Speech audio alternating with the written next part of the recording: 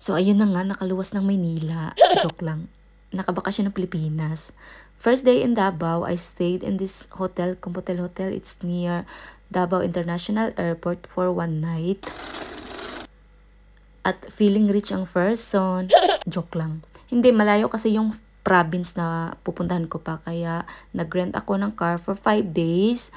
At I want to show you guys, nagsummary lang ako kung worth it ba yung na-spend kong money sa aking 15 days na bakasyon sa Pilipinas. Well, I am alone and also I already booked everything. For example, I book for um, hotels. I book already for um, travels. For example, for the cars that I rented and also um, for traveling um, domestic, I already booked that before uh, ako nagpunta ng Pilipinas. At saka syempre, i-decide nyo lang. Wag, hindi ko na lang sabihin kung magkano yung na-spend ko. So, I just by myself. But though, going to ano other island, I was with uh, with my mom. So, it was good for two.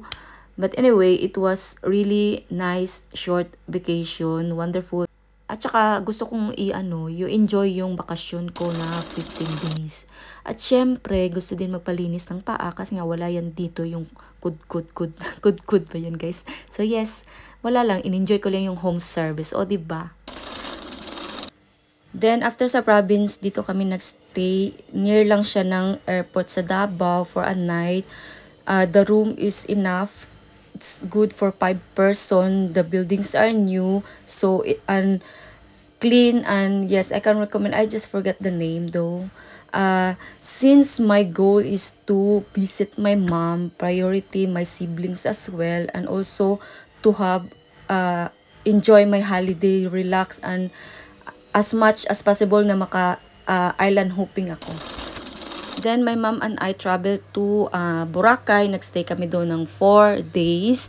Since this is the first time na nagpunta ko dito sa Boracay, so I want to enjoy the island.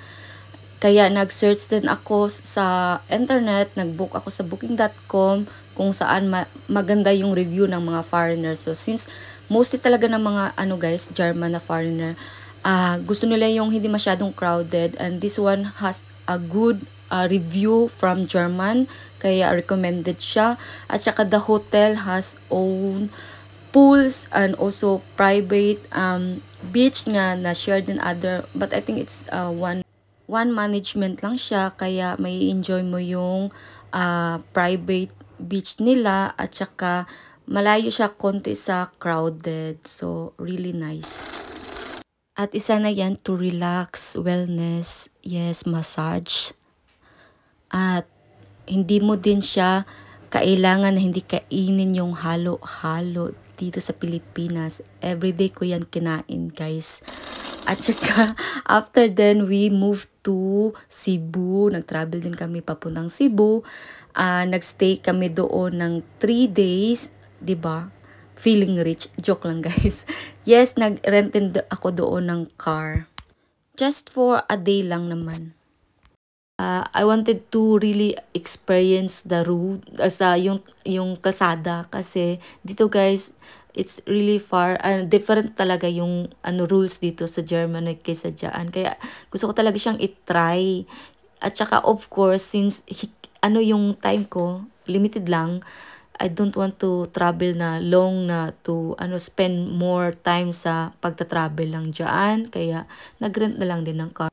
Syempre since nasa Cebu tayo, uh, habit ko na talaga na bumibisita sa Senior Santo Niño. At saka isa din yan guys sa mga ano ko ginagawa sa tuwing uh, pumupunta ako sa ibang lugar o kaya nasa holiday ako vacation, pumupunta talaga ako ng church o kaya yung best is cathedral, yung malalaki talaga. Kaya isa yan sa mga ano ko nasa listahan. Priority ko yan pag pumupunta.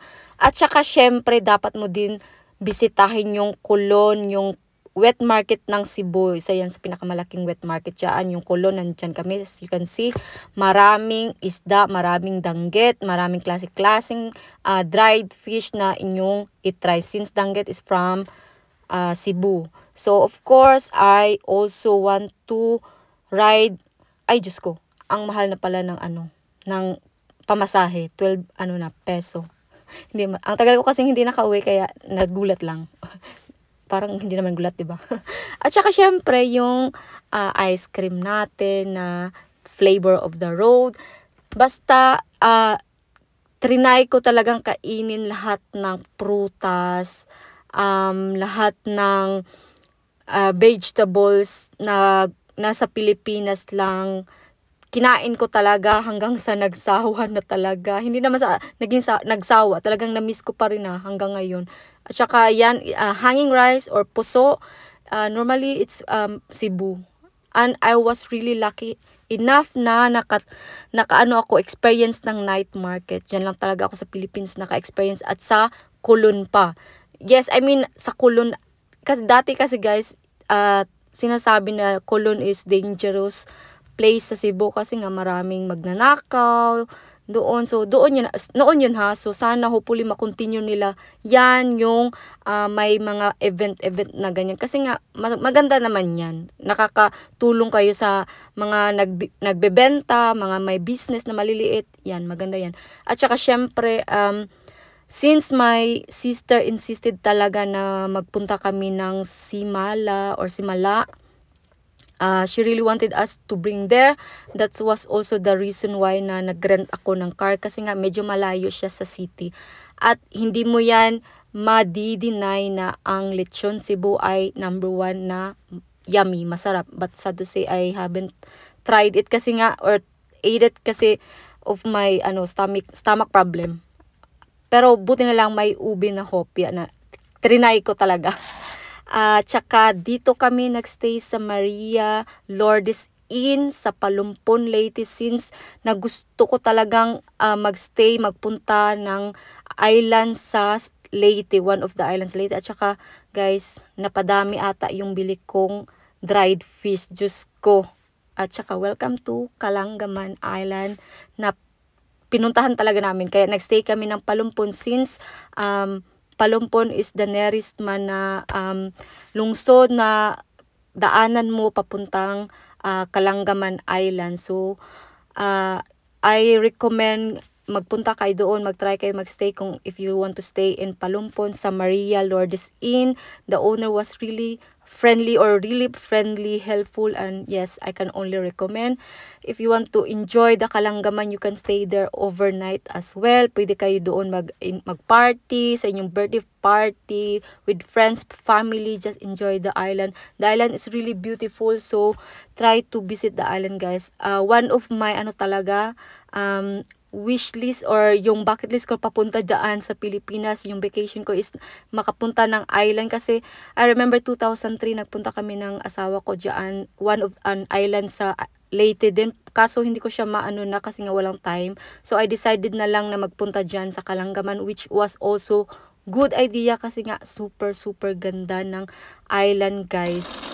And the next stop is Kilim Bye Bye Leyte. So Kilim Bye Bye Leyte naka nakastay kami doon, nakatira kami doon for I think grade 5 until uh, first year ko, nakastay kami doon. So, dito kami nagstay sa Blue House, something like that. I'm not sure the name, I forgot, sorry. But it's near um, uh, Iglesia ni Christ, Cristo yung location. So, just look lang na uh, something, somewhere to stay. Maganda din dyan kasi nga front is beach. So, maganda siya for if you want to, ano ba, ikot-ikot lang dyan sa Kilim Bye Leyte or sa Bye Leyte. Just travel there.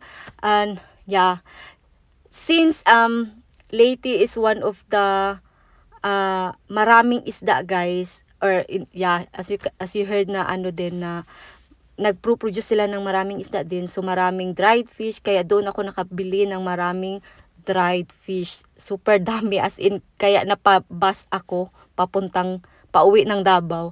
At saka hindi mo din yan uh, dapat kalimutan itry yung best nilang moron. Ito, super yummy. Diyan mo siya uh, mabibili yung moron made from Leyte talaga yan. Originally yung moron kaya super yummy siya. Yung ano siya may halong chocolate na sticker rice. So try that one guys if you ever happen na makabisita sa Leyte. So and of course there are a lot of um ano naman yung made dyan sa Leyte. So just try and uh, I really would uh, visit uh, again and again sa Leyte kasi wala lang, I feel ano lang dyan, safe, I mean comfortable.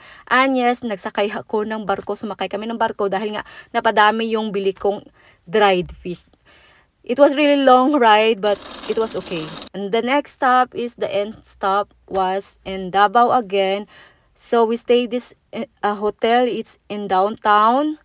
Uh, it was good. It was okay kasi nga malapit siya sa mga um, uh, stores and so on. You can just walk or use taxi whatsoever but normally you can just walk if you ever uh, mag-enjoy tanaw-tanaw dyan sa Davao City. Kaya uh, there's also a place guys na kung gusto mo mag-change ano ng pera, foreigner exchange, uh, dito yung black market kasi nga mas maano siya, mas more ang rate exchange niya kaysa sa ibang yung mga department store ya. And of course, since hindi talaga dito sa Germany, hindi mo magkuha-kuha yung gusto mo, kaya granab ko na yung opportunity opportunity doon. Ah, uh, nag-try din kami ng night market diyan hindi siya medyo kasing dami sa Colon but it was nice. Uh, and yeah, madami akong halos kinain ko lahat yung seafoods na gusto kong kainin so far naman. Kaya nag-enjoy talaga ako. Ang dami kong kinain lahat ng isda na gusto kong kainin, malalaki, maliliit at saka yung mga seafoods, mga fruits na gusto kong kainin na nandun available, kinain ko talaga. At saka, yeah, I was just really happy na kahit na nag-gain ako ng 5 kilo, it was okay kasi worth it naman yung pag-ano ko doon, pagkain sa lahat ng gusto kong kinain since hindi naman ako nakauwi ng 11 years o Diyos ko, di ba? Dapat talaga kainin lahat ng gustong kainin. And that's it. Uh, yeah, I really had fun. Well, I visited a lot of island. I enjoyed uh, how much I spent doesn't matter as long as I really enjoyed my vacation. I hope, yeah, to enjoy the holiday again.